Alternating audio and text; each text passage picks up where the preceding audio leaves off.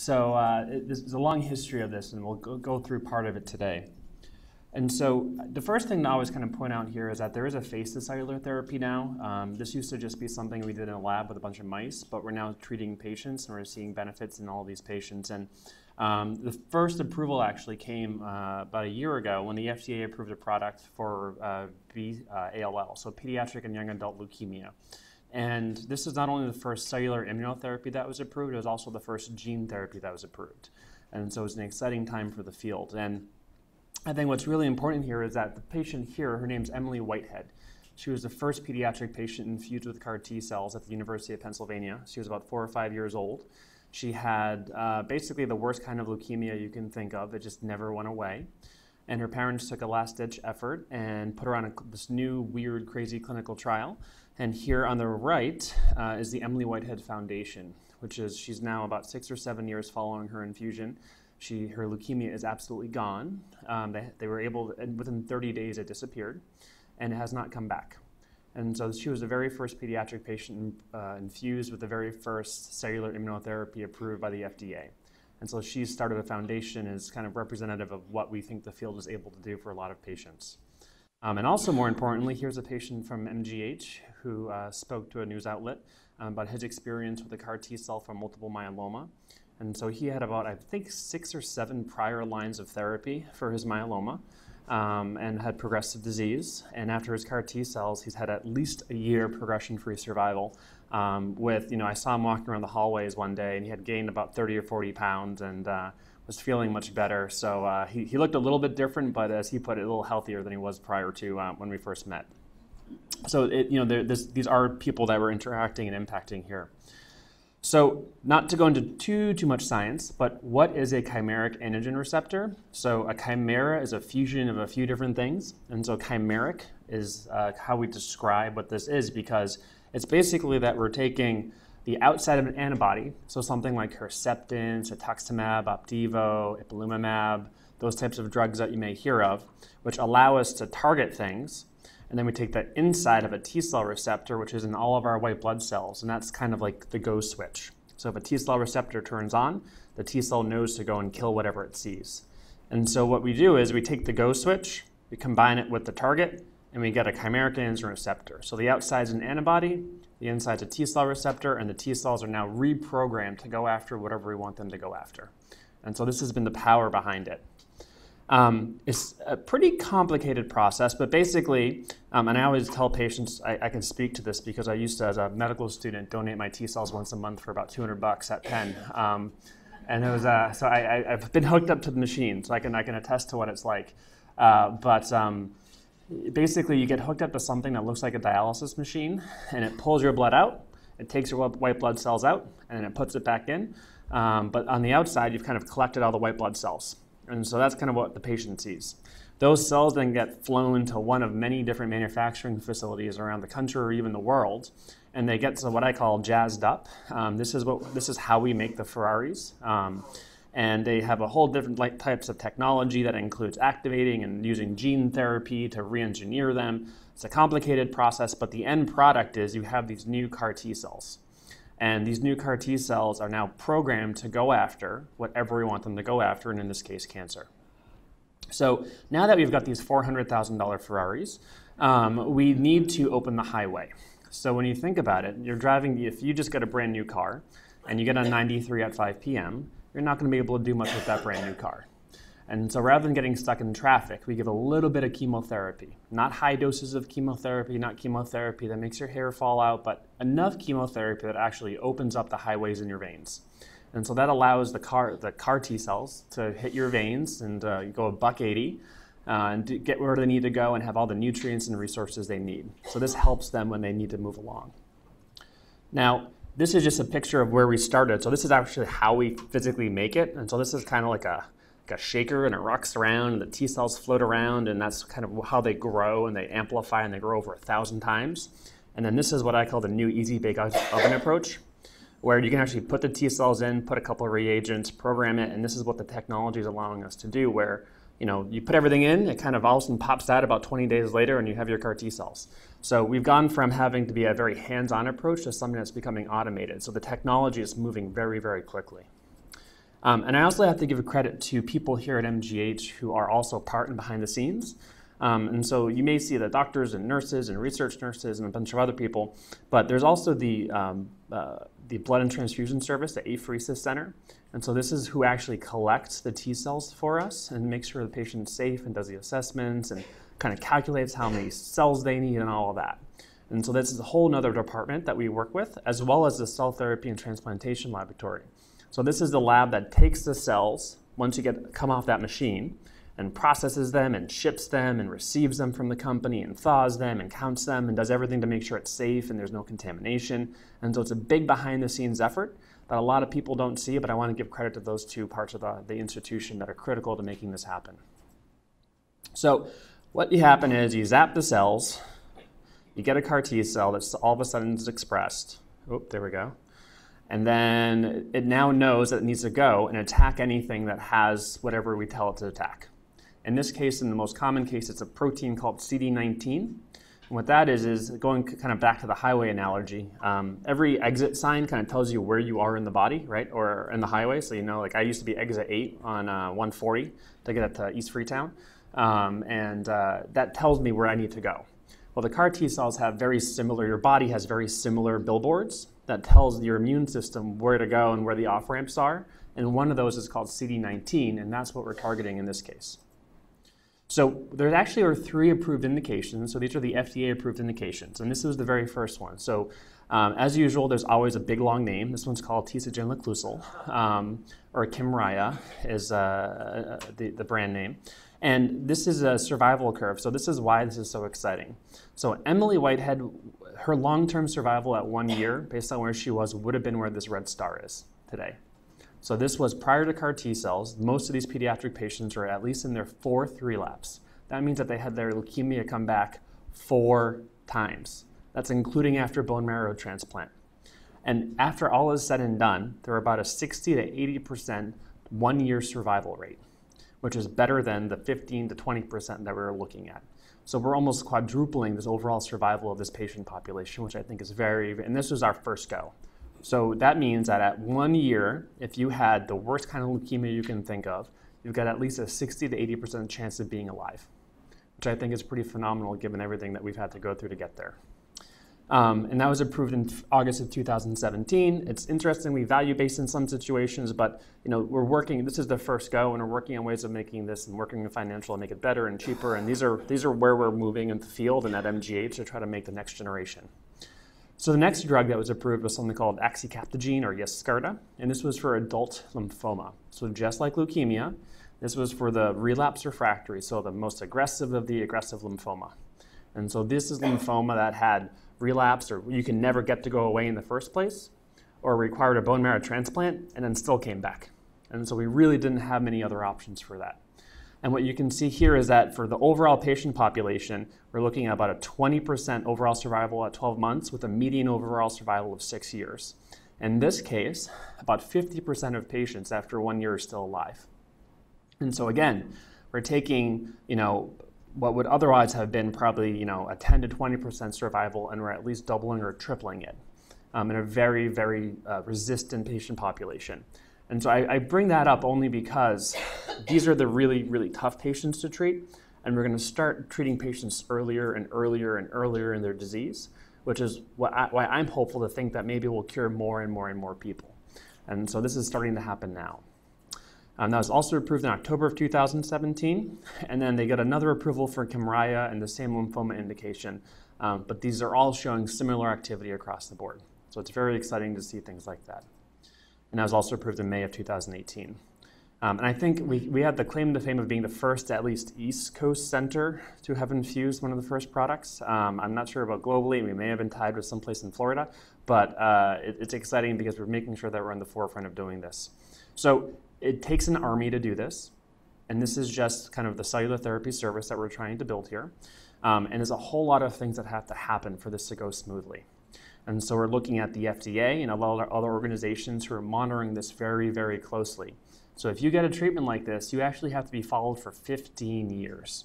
So we have to report data to the FDA for 15 years since it is a gene therapy. So there's a lot of regulatory stuff we got to do. There's a lot of administrative and finance. People have to stay within Mass General for four weeks after they get their T cells. That's not easy to do in Boston. And so we're working on getting patients housing and support through the pharmaceutical companies and insurance companies. And so that's a lot of work. And we have a, a big financial group and administrative group working on that. There's the clinical care. We're going to talk about some of the toxicities in a second. Um, so you need medical specialists like ICU doctors, like nephrologists, pulmonologists, uh, neurology. You need social work to help the families as they're going through the process. You need pharmacy to make sure they have the special medications on board. You need the nursing staff and advanced practitioners to know how to care for these patients. You need the outpatient infrastructure to see these patients quickly. Um, and then there's also a whole different education in uh, the BTS and CTTL, as I had mentioned, so the, the apheresis and cell therapy lab. And then you also need the research infrastructure to run the clinical trials to get the new approvals and the stuff that I'm really excited about, but the stuff that MGH is doing ourselves. And we'll talk about that in a couple of minutes. So overall, um, this is the number of infusions. So this is the number of patients who have been infused over the last year or so. In 2016, we had about 10 infusions. And as you can see in the first part of 2017 or so, we had a couple, but around two, the last quarter of 2017, we saw an uptick. In 2018, we saw another uptick. And not only that, but we're already treated about another five patients just this quarter alone, about another 15 to 20 research patients just this quarter alone. And we have another seven or so scheduled for Q, uh, Q3 of standard of care, with about another 15 to 20 of research. So I'm expecting this curve to continue to increase pretty rapidly, which is exciting for me because it means we're getting the, these new therapies to patients and we're being successful with it. And so we're seeing a lot of growth, and that's exciting. It's a long process, but basically what we're doing within this is we're building the infrastructure to see patients, consent patients, screen patients, get financial approval for patients, make sure that they have all the testing and uh, other doctors involved to make sure it's safe, to get those cells collected, manufactured, get chemotherapy, get admitted, get infused, and eventually get discharged, and then get followed up for those 15 years. And so we're having one big group of people to kind of come together and try to do this, currently through bone marrow transplant, but eventually as a service of its own. And so we're building this infrastructure now to prepare for the things that are coming in the future, as I'm hopeful and I predict that as we get other indications, this is going to become a more and more powerful and popular tool to be using for patients. So what are the toxicities? Um, the big toxicities are something called cytokine release syndrome and neurotox. Um, and then B cell aplasia, which you don't have to go too much into, but it's somewhat expected because when we target the bad B cells that are leukemia, lymphoma, we also have some bystanders who are the good B cells. And so we can deal with that. And that's something we kind of expect. But so without going into too much of the science behind it, CRS or cytokine release syndrome, and this is why we need such specialty level care and why we need so many doctors on board and why the FDA is watching so closely, is because it can be something like the flu. So you may have some aches, some pains, you may not be hungry, you just may not feel well. That's great. You may have some high fevers. That's the that's low grade CRS. High grade CRS means that you could be in the ICU, you may need a breathing machine to help. You may need to be on dialysis temporarily. But these are things that we know how to treat and that are reversible in most cases. And so we're very careful to watch patients very closely and to provide the supportive care they need as inpatients to do this. And then neurotox is kind of a weird one. And this is what I actually warn family members about the most. Because if you do get this as a patient, you're probably not going to remember it. Um, because patients wake up and they go, What happened? And it's really funny because they go from completely asleep or really agitated to awake. And um, uh, one of the patients we had uh, actually um, could was having a hard time talking, and that was her manifestation of aphasia. And the first thing she said, because her son, for some reason, was totally comfortable with this, because I told him about it, he expected it, there was no concerns. The first thing she said, because he kept teasing her the entire time, was "Shut up." And so she woke up, she said, shut up to her son, and then she was chatting thereafter. Um, so, but he was happy to take it because his mom was awake and, and doing better. Um, and that was actually our very first patient treated, and I'll show you some of our success rates. So uh, we can skip that. So there, these things occur very commonly. So about 94% of CRS and about 90% of neurotoxicity, all different degrees and amounts, but they're pretty common across all the different products. So this is why this is such a specialty type of therapy, very much like bone marrow transplant, because these things are rather unique to this and some of the other types of immunotherapies. So this is this is a response. So this is the first patient we ever treated uh, with the first lymphoma drug that was approved uh, back in October. And this patient was infused around uh, end of November, um, and this is her lymphoma right here. So that was her disease. So she had relapse. She had two lines of chemotherapy and then she had a bone marrow transplant, and then her disease still came back. And this was this is her entire chest wall, which is all lymphoma. Within 30 days of getting the treatment, you was no more lymphoma whatsoever. And I just got off the phone with her because I wanted to congratulate her on her six month scans that were probably about two or three weeks ago, which at six months, which is kind of a magical number for this treatment in, in lymphoma, she still doesn't have disease. And so she wants to come back to MGH to say hi to some of the people who took care of her and to meet some of the people who are involved. Um, because she wants to say thank you and to, you know, especially for the nurses who helped her get through all of this. So it's, like I said, it takes an army. So let's talk about what we're doing, what's new. Um, so these are the number of clinical trials that we have going on in the United States that are, that are basically chimeric antigen receptors, so anything that's a CAR T cell. And this tends to correlate with all the big centers, so Seattle, uh, City of Hope, MD Anderson, University of Pennsylvania, New York, Dana-Farber, and us. Uh, and my goal is to get this number to increase rapidly. I want to have the, the most trials available to patients um, of any place in the United States, and we're working on it. Um, and overall, so when I started in 2010, when no one really believed this was going to work, there were less than five clinical trials in the United States, or in the globe, I should say, in the entire world. And as of June 8th, there are 281 clinical trials of cellular therapy. So in the last eight years or so, it just has exponentially increased the number of trials and will likely continue to do so in the future. Um, and then here are some examples of clinical trials and diseases we're treating. So we have trials in multiple myeloma, that, that's another product that's showing a lot of success. Lymphoma with adult leukemia. We're treating patients with adult leukemia. With hepatocellular carcinoma, so a type of liver cancer. Um, patients who have lung cancer. Um, and then this is an interesting study that's opening up shortly that actually doesn't depend, it doesn't matter what kind of cancer you have. So you know when you, when you have lymphoma or breast cancer, you go to a lymphoma doctor or a breast cancer doc. This trial, doesn't matter what kind of cancer you have all you have to have is a specific kind of billboard of that sign that I mentioned on your, on your tumor, and we can treat you with it. And so some of this is moving towards a disease agnostic approach. And then finally, as I said, that we're trying to move these therapies up in, in, in the line of therapy. So rather than after you relapse with transplant, what about we just do it instead of transplant? Save you, save you the hassle. And so we're starting to open up trials that's going to be a phase three study to compare CAR T cells versus transplant. Um, and then just to kind of give you some, some of, since we've been talking a lot about blood cancers, we're going to talk about just a, this quick slide on solid tumors, where we've been able to use cellular therapy to cure patients who've had synovial sarcoma. So a metastatic sarcoma patient um, is after 100 days still doesn't have a disease. And one that's really exciting because it's you know, a pretty scary disease is glioblastoma or GBM, if anyone's heard of that. And there have been cases of patients who have responded and been cured with cell therapy with GBMs. So again, this is working for heme malignancies. Solid tumors a little bit behind, but we're going to get there, and that's our goal. Um, and these are just other clinical trials where we're looking at prostate cancer, breast cancer, ovarian cancer. Um, these are all things that have been tried and we're continuing to work on. So it's coming. And so what is MGH doing? Um, so that's just kind of what I showed you, the cellular therapy service, but there's a whole other infrastructure that's being set up right now. That's the overall cellular immunotherapy program. And what that's meant to do and oh, I'm sorry. And these are just a picture, and this is Marcela Maus, who's overseeing that program. And this is her lab, and I'm kind of sitting in the back. And Brian Choi is a neurosurgical uh, resident here who's doing, who's working on some of the brain cancer stuff. Um, Irena Scarfo, she's a PhD from Italy. We actually have a very diverse lab, so we have people from Colombia, we have people from Italy, we've got people from um, China, we've got people, I'm just trying to think where everyone is, South Africa, we have patients or, or um, from Russia. So it's a very international lab, which I think is very exciting. And we're here to ask why do these toxicities happen? How can we treat them or prevent them? How do we you know, treat patients who may have their disease come back after CAR T cells? Can we make it better with combining it with other types of drugs? How do we get it into solid tumors and how do we make it cheaper? And then what's the next generation going to be? Um, and I'm excited to say, don't have to worry about the details, but basically that we've created our own version of a CAR T cell that we're going to be bringing in for B and T cell lymphomas, um, and even may have some role in AML.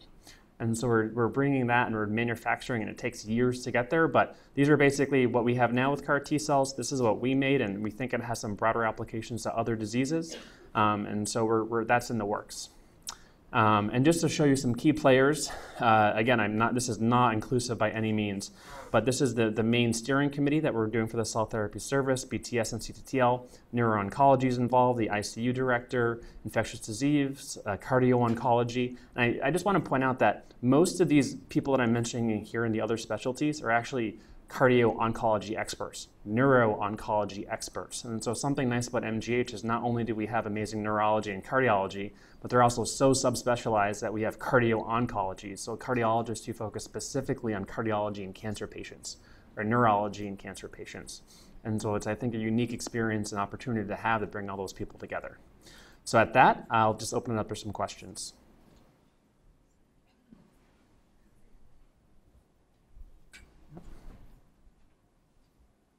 With the microphone. Oh, you the microphone.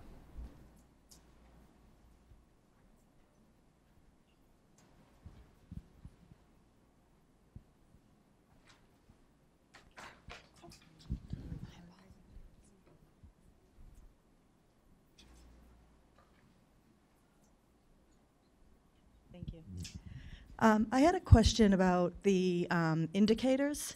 My husband was a multiple myeloma patient, and um, when, so this was like late 2016, early 2017, so it was really on the onset. He was a patient of Dr. Raje. And when they tested him, he wasn't a candidate. And so it was something about an indicator that he didn't have. If could so that. so remember how we talked about the billboards and I said CD19? The one for the trial I think they were trying to screen your husband for was a protein called BCMA, which is a different marker. Um, early on, we weren't sure if the level of BCMA, so how big or how bright that marker was, was important. Um, and we've gotten a little bit more lax with that over time with different trials. But initially, back at that point in time, we were only we were expecting the really, really bright people, or that, that was the indicator that we were looking at. Um, and we're starting to understand whether that's important or not, and whether we can treat patients safely without having that bright, bright marker. But I think that's what what was uh, Dr. Raje was referring to at that time. Hi, um, I wanted to ask you a question about uh, recurrence. Are there ways now to do blood tests to measure markers as CD19 for recurrence? Yeah, so it's actually not even a specialty blood test we're having to do. We can do something called flow cytometry that looks at all those markers on the blood or on the tissue, or we can do PET scans and do biopsies. And so we can pretty easily look for that marker to come back. Um, but we're also interested in finding if that marker isn't there and the disease still comes back, why, and how do we treat it. On top of that, if the disease comes back, can we add other drugs back in to try to reinvigorate or re-excite the T cells to start doing their job again? And so this is something, you know, the numbers of, you know, 40 to 80% depending on the disease of CR rates I'm referring to are patients who just get those T cells. We're hoping to combine that with other things to increase that number. And if the disease comes back, now there's even, not to get too technical, but there's even a therapy coming down the road where you take a pill and it turns your T cells on and you stop taking the pill and the T cells go away so you don't get toxicity. And then your cancer may come back, you take the pill again, the T cells come back on. And so we can actually control that and kind of dial in what we want the T cells to do. So we're getting there. Yes, as a uh, pancreatic cancer survivor, um, I've been following this a little bit, and I understand that pancreatic cancer is particularly resistant to immunology type approaches. And I'm just wondering if you could mention why. Is it the stroma? Is it uh, something about the cancer itself? That's actually a phenomenal question. Um, I think what you're referring to is so the tumor microenvironment is what we call it. And so the thing with blood cancers are that blood cancers are usually T cells are part of the blood, B cells are part of the blood, and they're used to interacting. You know, that's kind of what they do normally. And so when it comes to blood cancers, it may be a little bit easier. But solid tumors, I think there are a lot other things that are need to be addressed. And so CAR T cells alone for solid tumors may not be enough, but CAR T cells plus pembrolizumab or Keytruda may be helpful, and they're looking at that.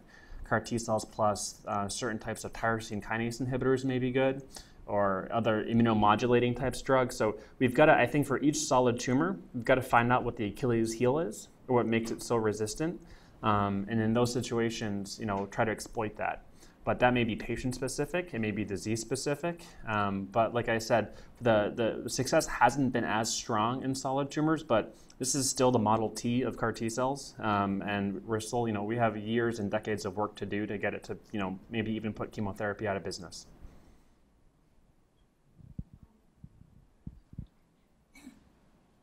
you've taken an immune therapy that um, did um, attack the C, I guess a little confusing about the CD19, but CD19 was involved, and it was blinatumomab.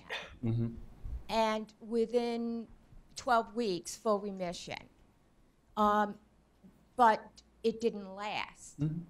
What, I- it's kind of a two-part question. Because of your response so quickly, does that make you a better candidate because you passed the, the cell um, disbursement, the high fevers, the neurological um, testing, and went through that for the trial that was about 14 weeks? Um, so would that make you a can, if you were a candidate for the CAR T cells, would that improve your chances because you've already gone through a similar, I, I mean. type of treatment. Treatment, yes. Yeah, so the, the therapy I think you're referring to are called BITES, or blinatumomab or Blincyto is the specific drug. Um, and that similarly engages T cell-like CARs, but just in a different way. Um, a lot of the patients who had been treated on these clinical trials with CAR T cells had already received blinatumomab. And so I think those data that I presented that show the response rates were pa- that included patients who had previously treated blin. So I don't think that relapse after blinatumomab really matters as much for CAR T cells, except in the situation in which that relapse occurred because they kind of cut the, the, the tumor cut that antigen or that billboard off, and so then the T cells wouldn't be able to see it. Um, but it doesn't, uh, uh, you know, other than that, it shouldn't really predict what your response is going to be to CAR T cells. So it doesn't help to say that you may not have um, drastic uh, neuro, neurosyndrome? Oh, you so for toxicities, Yeah, things um, like that, that you would be a better it's hard. candidate. It's hard. I can't exactly say. I, you know, we, I can kind of speculate, but we really don't have enough data to say whether if you had those toxicities with Blincyto, would you have those toxicities with CAR T cells? They're very similar, and you'd probably have the potential of having that, um, but it's it's not it's not like 100 percent. And will you have to be in remission if you have a constant, you know, pattern of treatment? So maybe a year it's back treatment because you're saying you want to catch So you, catch it easy earlier. Yeah, so we try to treat people as early as possible. Um, we don't, you don't have, actually, you sh- we don't like people to be in remission if we're doing CAR T cells because we want something for the CAR T cells to go after for now. Okay. Um, but, you know, I'll just emphasize the reason why we're doing CAR T cells is that we think it's a curative one shot therapy. And so the point is that you don't have to have any more, you know, lines of therapy thereafter. So that's the goal. Anything else? I um, actually just received CAR, CAR T cell therapy, um, and 28 days out, I had a PET scan and in remission. So Congratulations. thank you very much. So